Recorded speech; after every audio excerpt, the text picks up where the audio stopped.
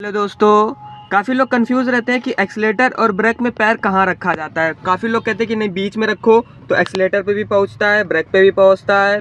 कि एक्सलेटर पे रख के ब्रेक पे ऐसे उठा उठा के रखना है, कि कैसे क्या रखना है। चलिए आज मैं बताता हूँ। देखो, होता क्या है, हम लोग ब्रेक की सिधाई में ऐसे हमेशा पैर रखते हैं। ब्रेक की सिधाई में ये पैर रहेगा ताकि ब्रेक भी दबे, और एक्सलेटर पर ये ऐसा पैर जाता है। ये पैर हमेशा तिरछा चलता है। ध्यान रखना, ये जो एड़ी है हमारी, ये उठनी नहीं चाहिए।